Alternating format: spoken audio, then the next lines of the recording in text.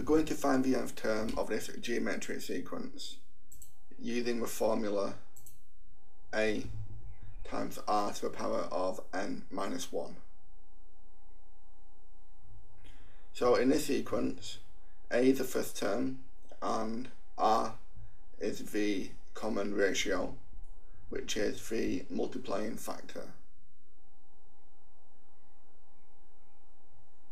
Different to an arithmetic sequence because instead of adding from one term to another, we're going to multiply by the common ratio. So the fifth term is 2, so a equals 2, and 2 times 3 is 6, and 6 times 3 is 18, so the common ratio is 3. So this nth term is 2 times 3 to the power of n minus 1.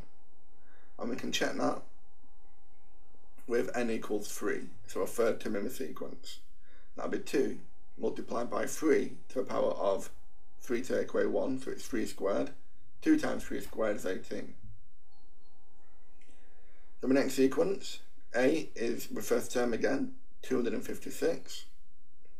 And R is, this time, we're dividing by 4. So the common ratio would be 1 quarter. So we're finding 1 quarter of the next term. So it's 256 multiplied by 1 quarter to a power of n minus 1. And the last sequence, the first term is 1, so a equals 1. And the common ratio, the multiplying factor, is negative 2.